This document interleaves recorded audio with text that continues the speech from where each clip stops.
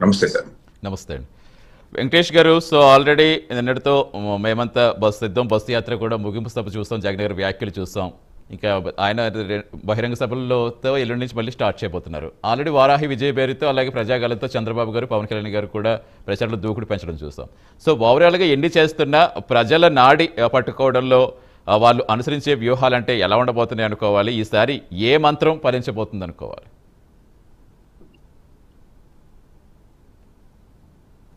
ముఖ్యంగా ముందు ముందుగా ప్రైమ్ నైన్ వీక్షకులకి ప్యానెల్లో ఉన్న సోదరులకి అలాగే మీకు మీ యాజమాన్యానికి అందరికి కూడా గుడ్ మార్నింగ్ అండి. నమస్తే చెప్పండి. మీరు అన్నట్లుగా ఈసారి వైఎస్ఆర్ సిపి యొక్క ప్రభు- ఈ ప్రభుత్వం యొక్క ముఖ్య ఉద్దేశం లేదా ఎలక్షన్లకు వెళ్ళే విధానం ఇవన్నీ కూడా మనం అనలైజ్ చేసుకుంటే వారి యొక్క మేనిఫెస్టోనే వారిని విజయ తీరాలకు చేరుస్తుందేమో అని నాకైతే అనిపిస్తుంది.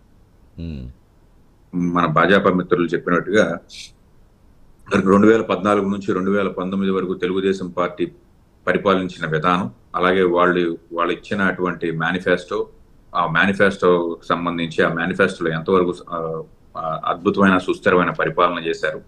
అలాగే పంతొమ్మిది నుంచి ఇరవై నాలుగు వరకు జగన్మోహన్ రెడ్డి గారు ఖచ్చితంగా అన్ని అన్ని ఆయన చెప్పిన స్కీమ్స్ అన్ని కూడా చేయలేకపోయిన మాట వాస్తవం.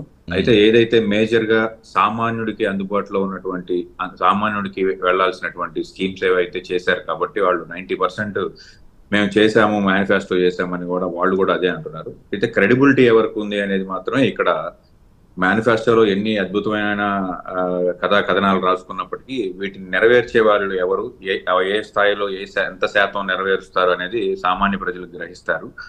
దాన్ని బట్టే ఈ విజయ అవకాశాలు రెండు రెండు వర్గ వైరు వర్గాలకి కూడా విజయ అవకాశాలు ఉంటాయని చెప్పేసి నా నా భావన.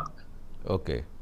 ఖచ్చితంగా ఈ ప్రభుత్వానికి కాస్త ఆ ఆ విషయంలో కాస్త ఎక్కువ మార్కులే వేయాల్సి ఉంటుంది. కాబట్టి చూడాలి. మేనిఫెస్టోనే